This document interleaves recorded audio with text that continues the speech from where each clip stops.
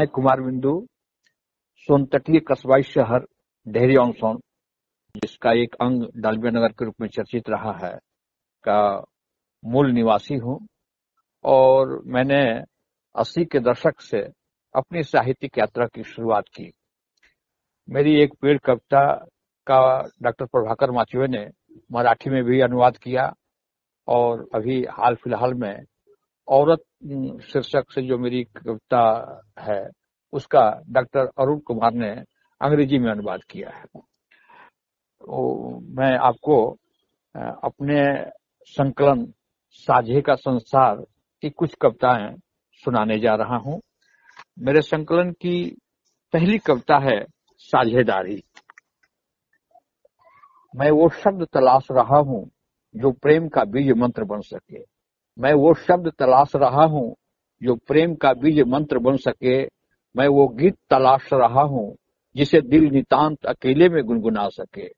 मैं वो सपने तलाश रहा हूँ जो हम जैसे अनगिनत लोगों की आँखों में प्रेम पुष्प खिला सके।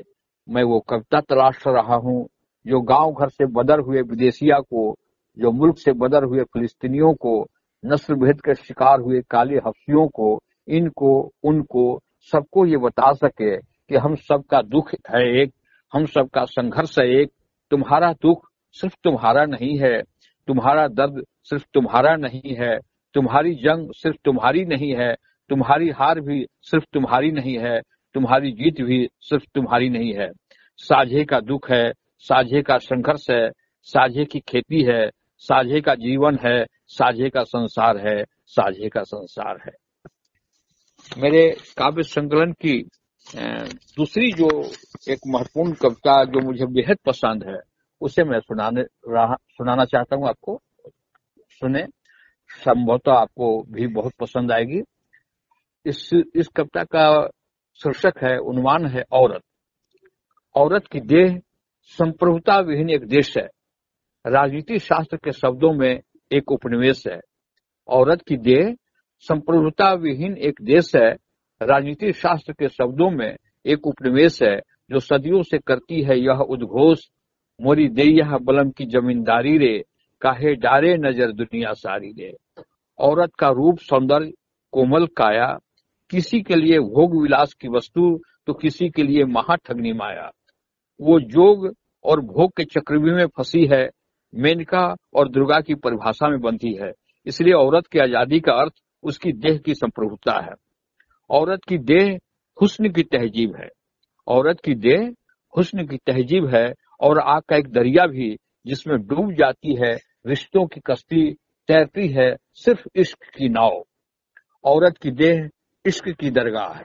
औरत की देह इश्क की दरगाह है जहाँ खामोशी से कोई दरवेश महबूब को देता है आवाज़, वो बिना हरफों की अदा करता है नमाज़, बिना शब्दों की करता है प्रार्थना बिना किसी ख्वाहिश की करता है दुआ।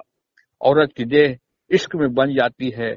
पाक की कुरान आयतें, वेद की पवित्र ऋचाएँ, सच्चे हिंदू के लिए काशी, सच्चे मुसलमान के लिए काबा। मगर मन तो व्यापारी है। मगर मन तो व्यापारी है, तन का कारोबारी है, सुख का सौदागर है।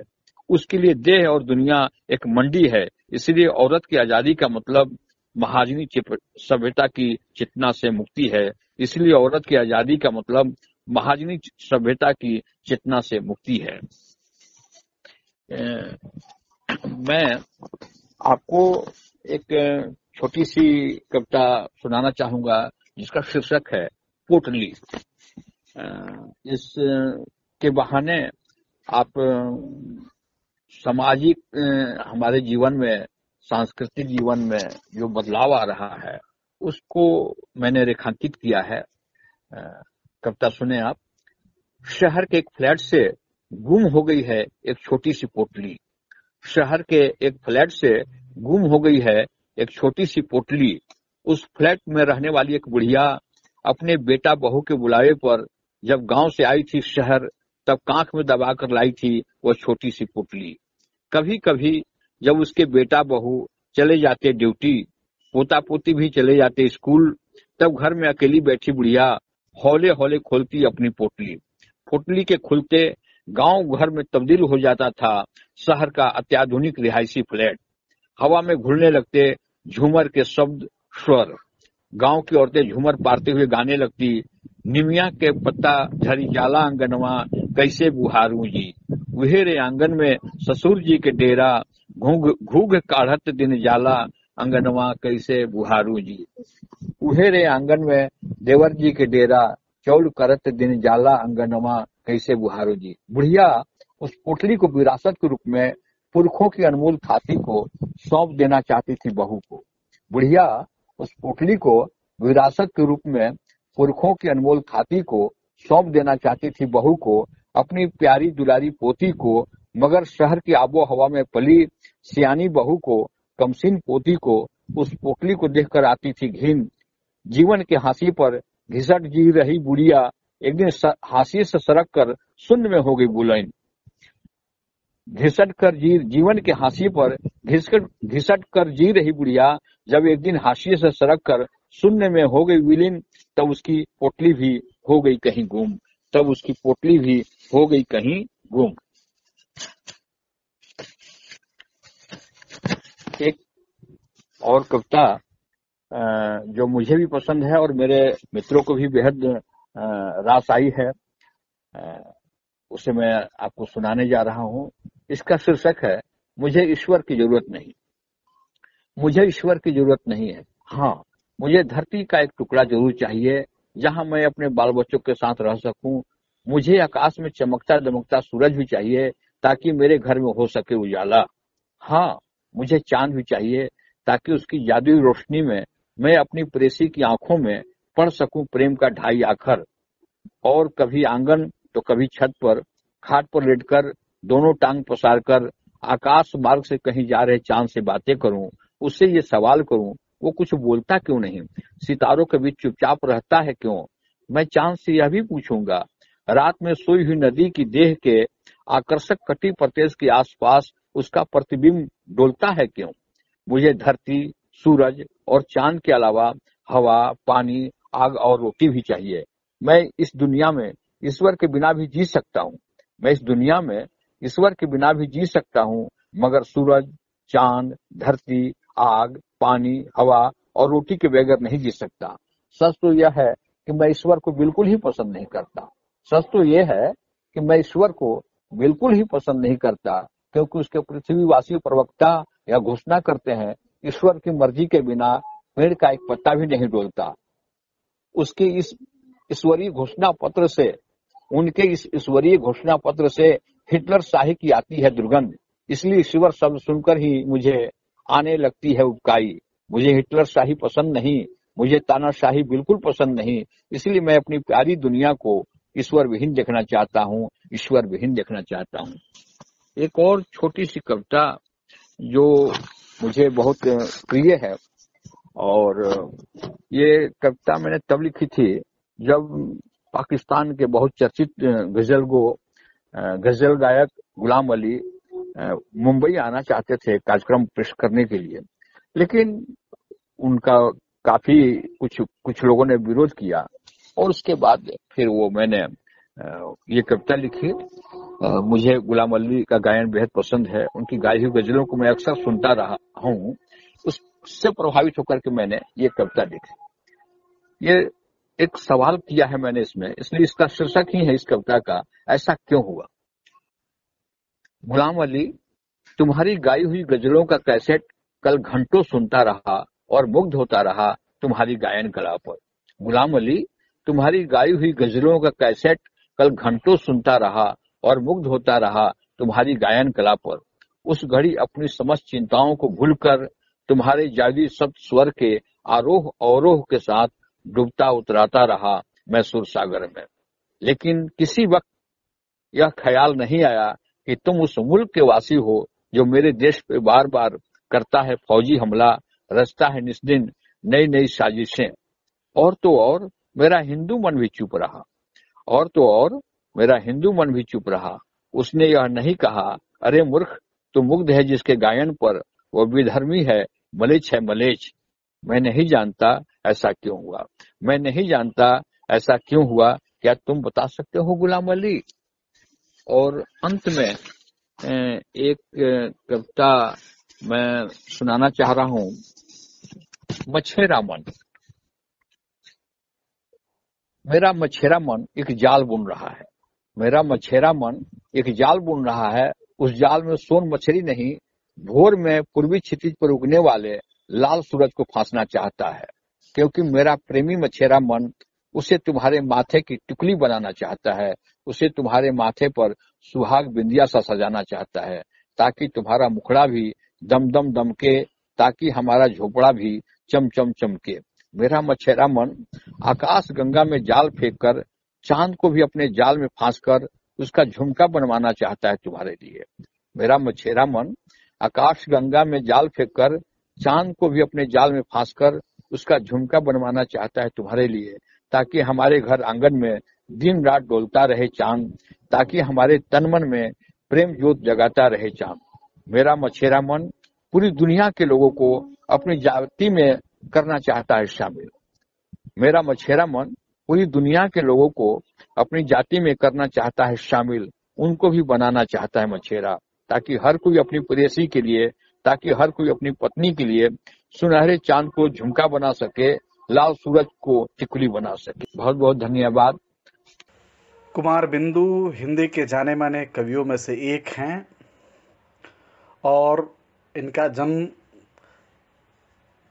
बिहार के रोहतास जिला के डेहरी ऑन सोन डालमिया नगर में उन्नीस सौ सत्तावन में हुआ। अस्सी के दशक से इन्होंने साहित्यिक यात्रा शुरू की। पेड़ कविता का प्रभाकर माचवे द्वारा मराठी में अनुवाद किया गया। इनकी कविताएँ हिंदी के प्रमुख पत्रिकाओं जैसे कि उत्तर सती, कदम और आज हिंदुस्तान किस्सा कोताह परिकथा आदि में लगातार छपती छपती रहीं। इनके लेख भी कई पत्रिकाओं में छपे। इनके वार्ताएँ आकाशवाणी से प्रसारित हुए। दो दशकों तक दैनिक हिंदुस्तान के संपादकीय विभाग में एक कार्यरत रहे। कुछ भोजपुरी फ़िल्मों में इन्हें अनुभव, अभिनय भी किया। और संवाद भी लिखे। ये रोहतास जिला में इट्टा और प्रगतिशील लेखक संघ के संस्थापक सदस्यों में से एक हैं और इन्होंने साझा काव्य संकलन आसपास की प्रतिध्वनिया में कविताएँ भी लिखी। अभी अभी इनकी एक काव्य पुस्तक 2022 में छपकर आई है अविधा प्रकाशन मुजफ्फरपुर बिहार से साझे का संसार। और इस कविता संग्रह में कुमार बिंदु की जो रचना धर्मिता सामने आई है, उसे देखकर ऐसा लगता है कि बहुत दिनों बाद हिंदी में ग्रामीण प्रतीकों और बिंबों के सहारे कविता को करने वाला कोई कवि मिला है। हिंदी के जाने माने कवि अरुण कमल ने कुमार बिंदु और कुमार बिंदु की कविताओं के बारे में लिखा है। कि कुमार बिंदु ने अनेक प्रकार की और अनेक स्वर, स्वरों की कविताएँ रची हैं, जिनका उद्बोधन हमें भीतर तक तिलमिला देता है। वे बेहद प्रयोगशील और साहसिक कवि हैं। सबसे बड़ी बात यह है कि उनकी कविताएँ बिना अवरोध के पढ़ी जा सकती हैं, और वे सरलता के साथ साथ बहुस्वरमयता से भी संपन्न हैं।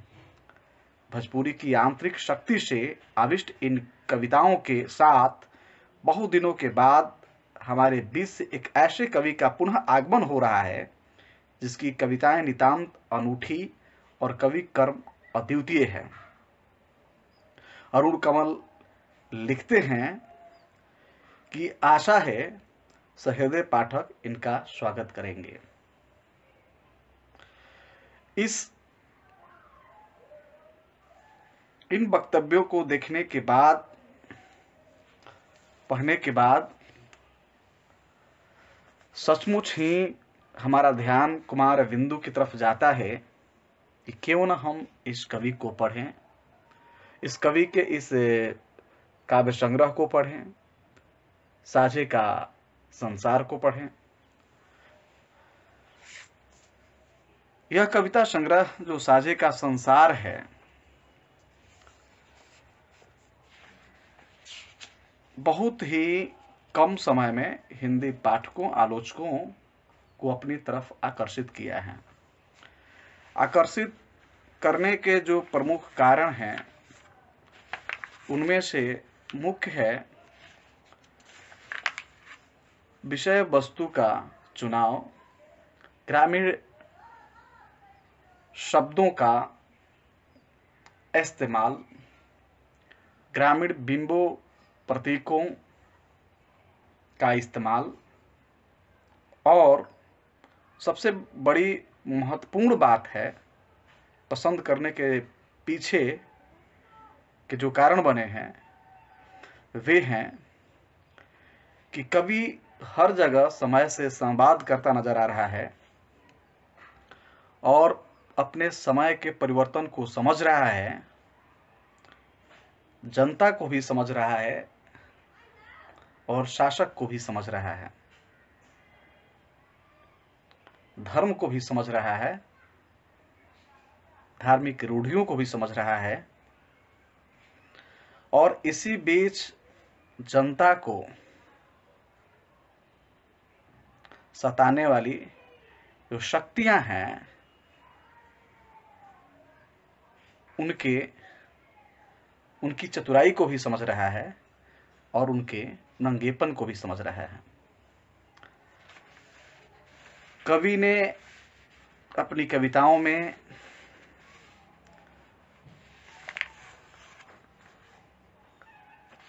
कबीर को, गांधी को एक ऐसे परिप्रेक्ष्य के रूप में रखा है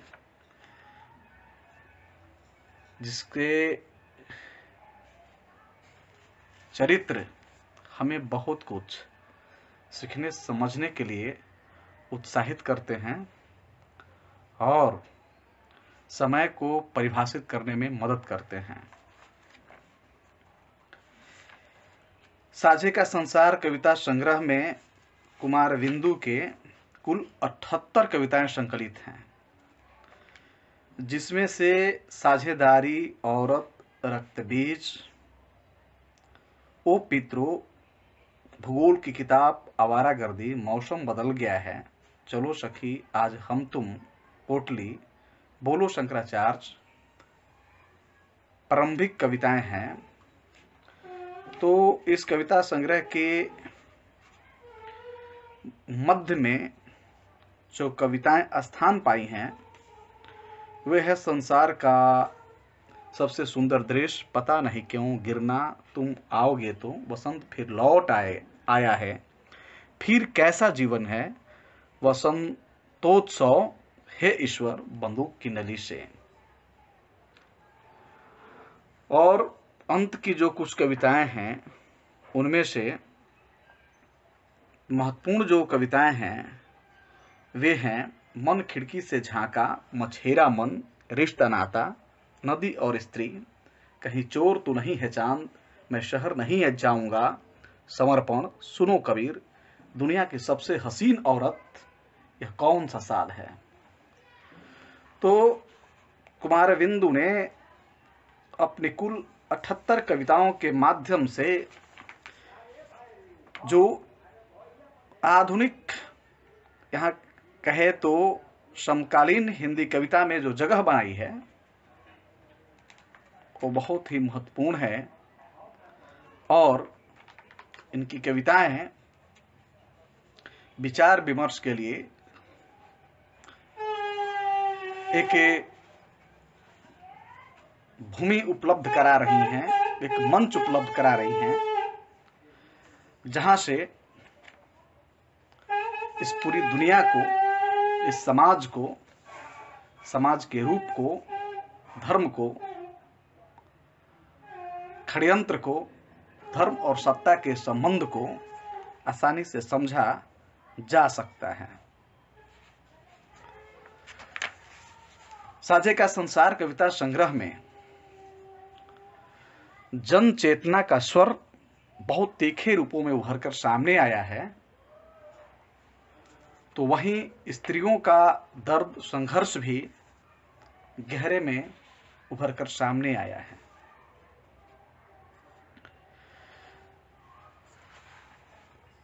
कवि ने मोहब्बत और प्रेम को आधार बनाया है ताकि जीवन जिस उद्देश्य हेतु मिला है, उसको सार्थक बनाया जा सके, उसे उपयोगी बनाया जा सके। उन्होंने अय मेरे मित कविता में लिखा है कि अय मेरे मित प्यासी नदी है प्यासा समंदर है प्यासा पहाड़ है प्या, प्यासा कुआँ पोखर है। अय मेरे मित तुम अपनी लंबी जुल्फे खोल के बिखरा दो कि नज़रों को काली घटा का गुमान हो जाए। और हवा में लहरा दो अपना ए हँसी आंचल कि मचल उठे मेरा जमा दिल सावन की घनघोर घटा के लिए। अय मेरे मित, तुम्हारा ये आंचल इनकलाब का परचम भी है। मोहब्बत के दिलकश तराने का सरगम भी है। मैंने तुम्हारे इसी हँसी इनकलाबी परचम के लिए कभी फरहाद तो कभी दशरथ मांझी बनकर, कभी दरिया तो कभी सड़कें बनाई हैं। पहाड़ों की सख्त हड्डियाँ तोड़कर। अय मेरे मित, तुम्हारे लिए मोहब्बत के हज़ारों गीत गाए हमने। दूध की दरिया बहाया, ताजमहल भी बनाए हमने। जंगल को एक दिन गाँव गाँव को एक दिन नगर बनाए हमने। खुद को बुलंद, और बुलंद और बुलंद किया हमने। अय मेरे मीत, इश्क की ए रवायत, हुस्न की ए तिलावत, हयात की ए इबादत आज सब कुछ खतरे में है। यजीदी सियासत के संगीन पहरे में है। अय मेरे मित, तुम अपने हँसी आंचल को आज परचम बनाओ कि मेरे लब हुस्न के इश्क के, हयात के इनकलाब के नग नग में गुनगुनाओ।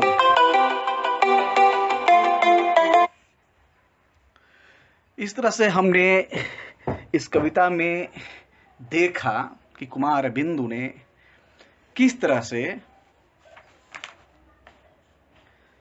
अपने मित से जो कुछ कहा है, उसके बनिष्पत एक सुंदर दुनिया का और खूबसूरत दुनिया का अधिरचना संभव हो सका है। मनुष्य के जीवन में अगर प्रेम तत्व हटा दिया जाए तो ये दुनिया बहुत ही खालीपन महसूस कराएगी ज़िंदगी में। लेकिन इसे पाटने के लिए कुमार बिंदु ने हर जगह प्रयास किया है ताकि ये संघर्ष भरी ज़िंदगी में भी मोहब्बत इंसान की जिज्ञासा को बढ़ाने में मददगार साबित हो। कवि ने इस कविता के संग्रह में गुमशुदगी, अजीब आदमी, ऐसा क्यों हो रहा है? डरा हुआ आदमी जैसी कविताएँ भी लिखी है। डरा हुआ आदमी कविता में वे कह रहे हैं कि डरा हुआ आदमी किसी हिटलर का विरोध नहीं, किसी सुकरात का समर्थन नहीं, सूली पर चढ़ाए रहे ईसा मसीह का सीने पर गोली खाते हुए गांधी का संरक्षण नहीं करता है, वह दुख में भी मुख बना रहता है। डरा हुआ आदमी न जीते हैं, न मरता है, एक ज़िंदा लाश बन जाता है। और शासक वर्ग जो है इंसान को डरा हुआ आदमी में तब्दील कर रहा है। और जब तक मनुष्य अपने भीतर के डर को हमेशा हमेशा के लिए फना नहीं करेगा, मिटाएगा नहीं, तब तक शासक की चालें शासक के सपने समाप्त नहीं होंगे, टूटेंगे नहीं, बिखरेंगे नहीं। उन्होंने तथागत से भी सवाल किया है। और सवालों के दरमियान उन्होंने मेहनत कश भूखे नंगे और गरीब लोगों के बारे में ऐसे कुछ सवाल उठाए हैं, जिन सवालों में अमीरी और गरीबी के रहस्य का पर्दाफाश हो रहा है। उसने लिखा है कि बताओ, इस संसार में कुछ लोग अमीर, सारे मेहनत कश भूखे, नंगे और गरीब क्यों हैं? किसानों, करी, कारीगरों, मजदूरों के घर में भूखमरी और गरीबी का तांडव क्यों है? किसी की अमीरी का राज क्या है? किसी की गरीबी का फांस क्या है? मैं यह सोच रहा हूँ, अगर तुम कुलीन परिवार के राजकुमार नहीं, एक मामूली किसान के बेटे होते, खेत खलिहानों में दिन भर हार तोड़ मेहनत करने पड़ते, सुबह में रोटी गुड़, रात में माड़ भात खाने को मिलते, तब तुम्हारे कोमल हृदय को कौन कौन सा दुख सालता तब तुम्हारे चिंतन मनन का क्या विषय होता भनते बुद्ध पर भी सवाल उठाया है। कुमार बिंदु ने। और शोषित पीढ़ी जनता के साथ वो खड़ा हुआ नज़र आ रहा है और शहर के शीर्ष साहूकारों, राजे रजवाड़ों पर उसकी दृष्टि जाती है, जिनकी वजह से गरीबी और व्याप्त है। तानाशाह का सपना मिट नहीं रहा है। तानाशाह की नींद तब हराम होती है जब कोई आम आदमी, सम्मुख सा आदमी मुस्कुराता है। कुमार बिंदु ने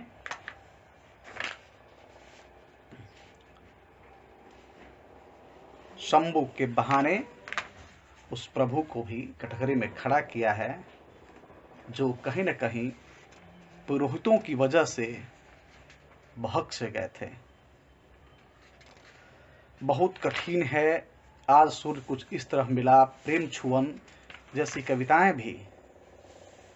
कुमार बिंदु की हमें अपनी ओर आकर्षित करती है और अपने सवालों, अपने किरदारों के माध्यम से जनता को जागरूक बना रही हैं।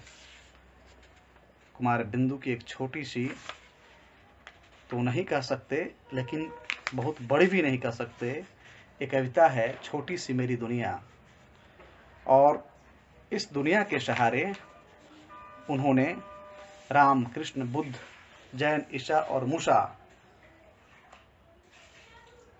सबको अपने घेरे में लिया है। और यह बताने की कोशिश की है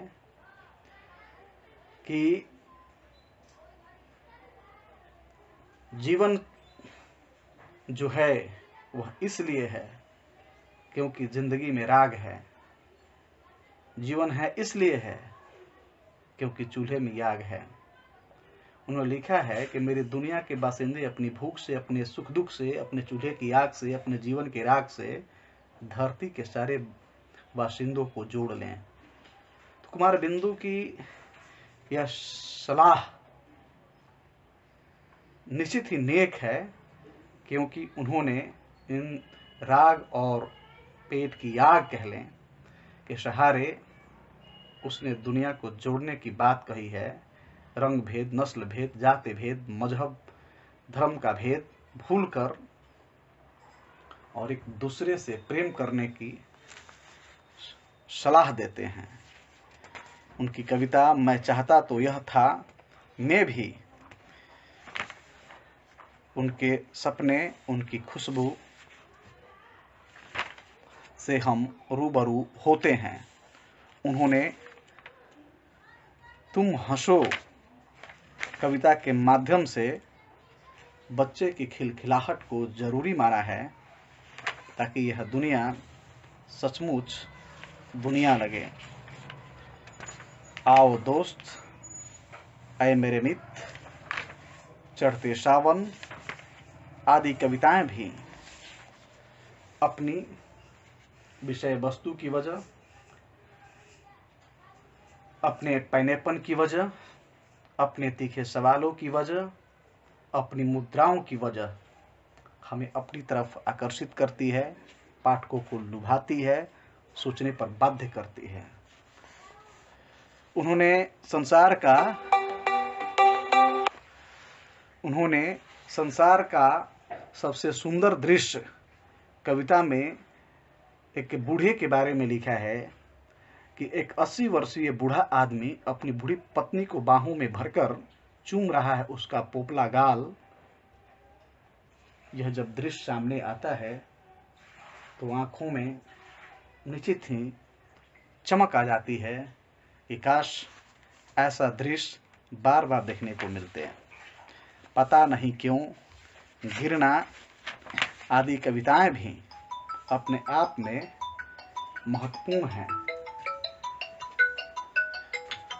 क्योंकि वे कभी गुदगुदाने वाली प्रेम कहानियों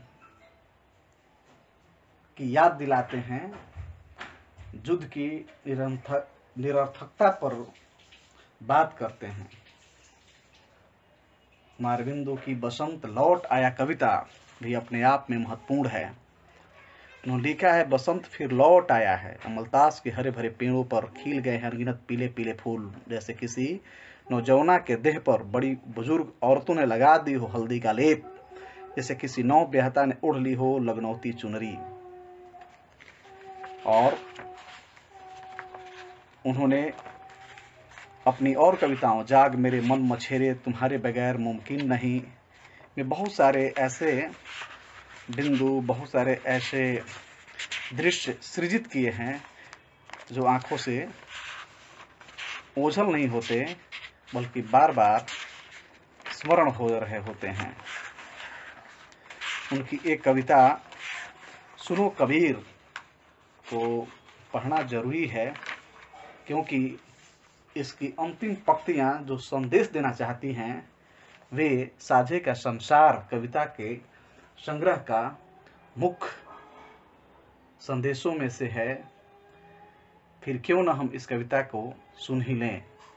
सुनो कबीर, माया महाठगनी ही सही, उसकी अकत कहानी ही सही, उसके हाथों में त्रिगुण फांस ही सही, मगर उसके हँसी पहलू में ज़िंदगी मुस्कुराती तो है, प्रेम गीत गुनगुनाती तो है।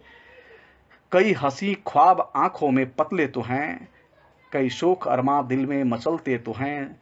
ज़िंदगी के वो हँसी ख्वाब जो किसी की आँखों में उठे तो किसी की आँखों में डूबे। डूब जाना तकदीर बने तो सही, इश्क की ए ताबीर बने तो सही। ये मोहब्बत कयामत ही सही, एक दिलकश फरेब ही सही। मैं उसी हँसी फरेब में फंसना चाहता हूँ कुछ घड़ी के लिए ही सही जीना चाहता हूँ। सुनो कबीर, मैं किसी एक, मैं किसी के लिए जीना चाहता हूँ, मैं किसी के लिए मरना चाहता हूँ, मैं प्रेम पथ पर चलना चाहता हूँ। कुमार बिंदु ने अपने इस कविता संग्रह के माध्यम से बताया है कि उसका असल उद्देश्य दूसरों के लिए जीना और मरना है और प्रेम पथ पर चलना है। धन्यवाद साथियों।